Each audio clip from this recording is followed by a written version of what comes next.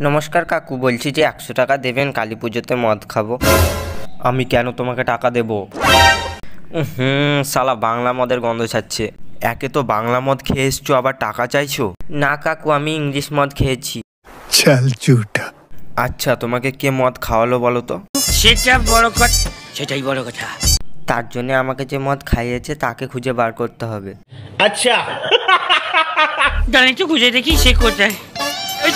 ওই তো, ওই কাক কথা শোনে না এক মিনিট আচ্ছা আমাকে বাংলা মদ খাইয়েছো না ইংলিশ আমি জানি না কাকু জানতে চাইছে যে আমি বাংলা খেয়েছি না ইংলিশ मैं नहीं बताऊंगा একটু পরে না, পরে পরে কথা। না। কাকু এক্ষুনি জানতে চেয়েছে একশো টাকা দেবে আমাকে এই এই এই কাকু একে তুই মদ খাইছিস মদ খেয়ে মাতলামু করছে ये सब क्या देखना पड़ रहा है अच्छा है मैं अंधा हूँ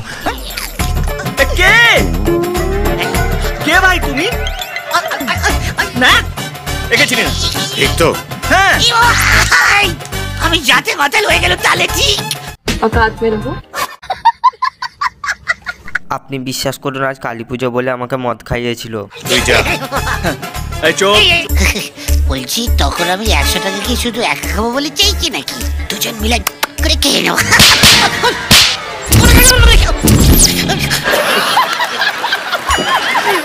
স্যার স্যার কালী পুজোর চাঁদা এসছে।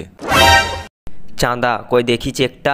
এখনও তো খালি একটা চেক এসছে এখনও অনেক চেক আসতে বাকি আছে। করু মর যাও?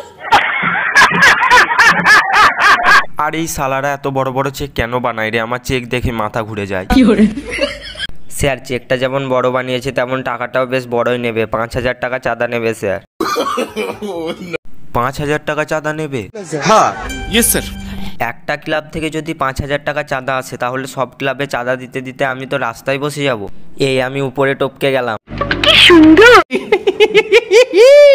রিয়া ও রিয়া থামো থামো রিয়া আমার বাইকে চেপে কালী পুজোর ঠাকুর দেখতে যাবে? কি? তুমি আমাকে বাইকে ঠাকুর দেখতে নিয়ে যাবে? এতে হাসার কি আছে?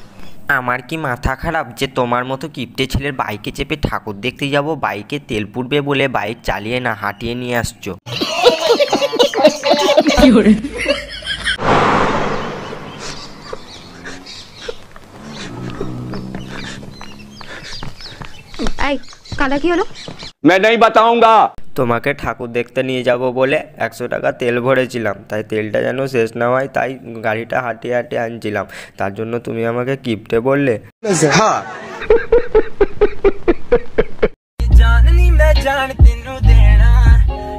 संग वाली सारी मैं मिटा देनी आ